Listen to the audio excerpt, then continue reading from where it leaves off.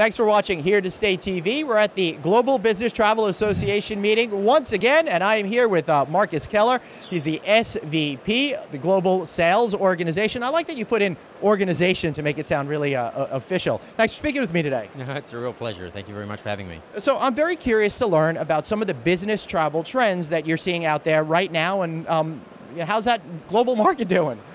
Look, I think there's um, there's several business travel trends in particular which we're focused on. The first is um, you know making the whole business travel process easier is, is, is a topic that we're seeing reoccurring. Um, the the RFP process, which is very heavy for everyone who's involved, we're seeing more and more multi-year contracts. We're seeing more and more requests to integrate the meetings and events aspect of the contracts into the programs. We're also seeing more and more requests for uh, non-traditional accommodation. So as you know, we are also in the private rental uh, space through a brand called One Fine say. So how do we integrate that into the, into the buying process?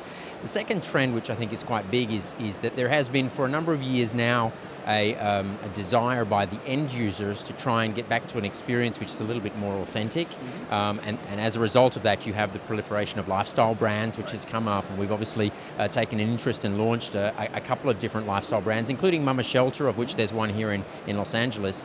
And then the third thing is that um, there is there is an ongoing concern about safety and security, you know, and that that topic uh, remains relevant. Um, that topic remains important uh, both for the uh, corporate traveller and also for the end user, uh, and and obviously that's front of mind for us as right. well. So let's go back to the uh, the, the, first part, the whole um, RFP process changing.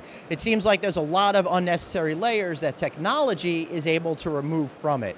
So what are some of the things specifically you're doing to make sure that travel managers have an easier experience and are going to want to stay with the Accor Hotels? Yeah, so trying to make that process as smooth as possible is obviously a key focus, you know, and part of it is through technology, so through uh, partners like Concur, for example, and easing the expense management, e-billing side of the of the program. Um, but there is, you know, the challenge for us is that as a growing hotel group, uh, with growing hotels in destinations where we already have hotels, right. where where travel managers are trying to reduce the number of partners they're working on, you know, how do we strike that balance? So, um, you know, we're growing our sales network, we're opening offices in new locations, the integration of the Fairmont Raffles and Swissôtel brands have brought with it a number of clients and a client base which is new to us. That opens new opportunities. Right. Um, so I think you know through different meetings we're able to uh, help. One of the things that really struck me as interesting that you said was multi-year contracts. That seems to um, take a take a lot of effort out of people's day-to-day schedule if they can just sign a deal and, and have it sit for a couple of years.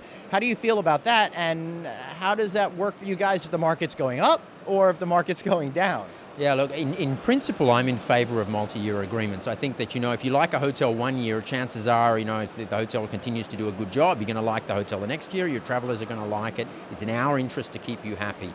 You might build into the agreement, obviously, some different mechanisms for the rate increases that we want, but on the other hand, there's exchange rate factors and things to be considered. But, you know, th that's more the devil in the detail. The principle is, if you like the hotel, we'll continue to do a good job for you. Let's sign a multi-year deal. Right.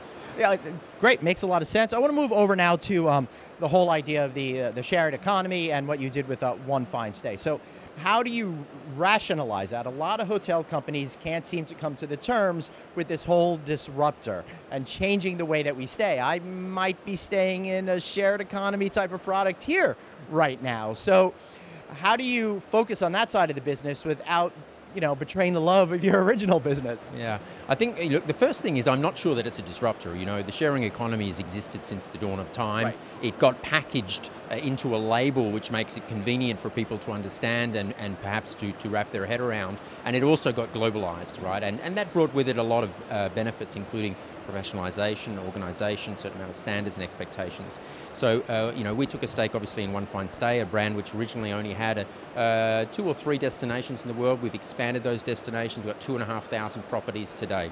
What we're trying to do is to work with our partners to work out well, what are their requirements from a technology point of view? What are their travelers' expectations in terms of minimum services on site? And unfortunately, we've ticked a lot of that off because unlike uh, some of the competitors in that space, we're, we're never putting the traveler directly in contact with the owner. It's right. always us handling them, right? So it's always us doing the check-in, it's us providing the on-site service, it's us providing the conciergerie services. So we're bridging what are some of the conveniences of traditional right. hotellery with the convenience of either the added space or the location or the extended stay factor, um, you know, and I think that you know, the reality is people are staying in that, even if um, some travel managers might not want to acknowledge that, but it is happening. And, uh, and, and in a certain generation and for a certain type of customer, there's a convenience in that. And, and, and we acknowledge that and we want to be in that business. Right.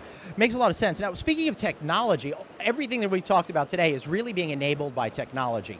How do you make sure that it's not too much technology where you wind up losing those personal connections either through your global sales organization or just dealing with the customer at the property level. Yeah, you're, you're absolutely right. I mean, people end, you know people do business with people they like, you know, and that is that is a key factor. And in fact, uh, over the past year, we've been very conscious about not uh, being too focused on the transaction, uh, transactional element of selling it, and to be very focused on the relational aspect of selling it. You know, forums like GBTA, they, they're perfect for that. Just reinforcing the fact that we're not necessarily here to squeeze squeeze you for an extra room night. We're here to just say thank you for what you've done for us. At the same time, the end traveler uh, is a key focus for us. You know, everything that we've done in terms of technology over the past 24 months has been geared toward what makes their stay better. How do we get to know them better? How can we be sure that what was the experience in one hotel is replicated somewhere else? You know, and technology does provide the backbone for that, and, and you know, investments in that are, are essential. Excellent. So uh, before we wrap up, um, so how many more brands are you going to buy or create? Is it an endless pit, or is there a stopping point at some at somewhere? No comment on. All right, excellent. So expect thousands of new brands coming from these guys any second. Just kidding. I love what you guys are doing. It's really um, fabulous stuff. You've been expanding, really, I think, at a rational pace over the last number of years. Every year, just moving, moving, moving, moving. So it's fun to watch it, and it's fun to watch a, a European company give. Uh, give some guff to some of the American hotel companies too. So uh, for Markus Keller and me, Glenn Haussman, thanks for watching Here to Stay TV.